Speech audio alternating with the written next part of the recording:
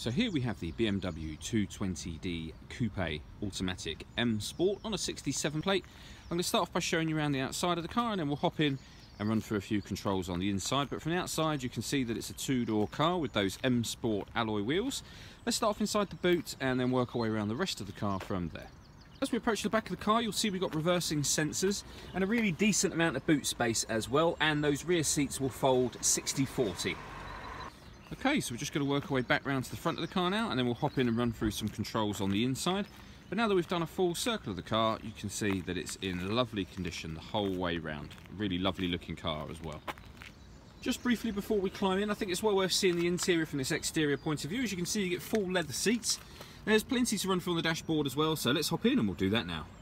Okay, so now that we're inside the car, we're going to start off with the dials. On the right hand side we have the rev counter and on the left hand side the speedometer and fuel gauge. There's a trip computer on this car. You can change the information that's displayed on that by pushing a button on the end of the indicator stalk for various different bits of fuel economy information as you can see. If we back out to the steering wheel, on the right hand side we have the stereo controls as well as voice activation for the phone. So hit that button, ask it to dial anyone in your contacts list and it will do that for you without you having to take your phone from your bag or pocket. Uh, that is of course once you paired the phone, that's done on the central screen which I'll show you in a moment. And on the left hand side we have cruise control with speed limiter. We also have these paddles here for changing up and down a gear in this uh, semi-automatic uh, type mode that the auto gearbox in the BMW has got. Uh, and I'll, again, I'll show you that in just a moment. Over in the centre here is where we uh, set up our phone amongst other things. You can see this car has got satellite navigation. Uh, everything you do on the screen there is all done using BMW's iDrive system just down here. So turning this dial will take us through various options. We can then select things by pushing it down. It moves to the right, to the left, up and down, or you can use the buttons directly above it to access menus directly. So we're in the navigation menu for the example at the moment.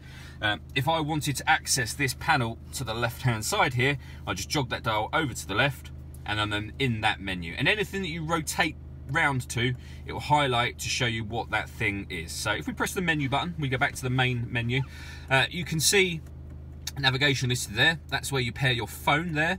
In terms of radio, this car's got FM, AM and DAB digital radio. And then in terms of other ways to listen to music, i.e. multimedia, you've got CD and then it simply says external devices. If you select that, you can see that we can stream music wirelessly via Bluetooth audio once that phone is connected.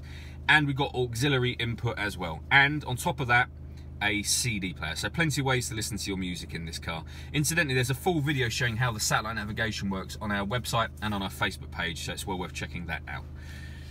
Below that, we got a CD player uh, and the main volume for the stereo. And then underneath that, we've got the uh, climate control. So quite simply, you can set your temperature over here, fan speed up and down from here. When you're happy with uh, those settings, that button will turn the air conditioning on, or you can hit auto and the car will maintain this temperature by itself and you see it's taking control of the fan speed completely.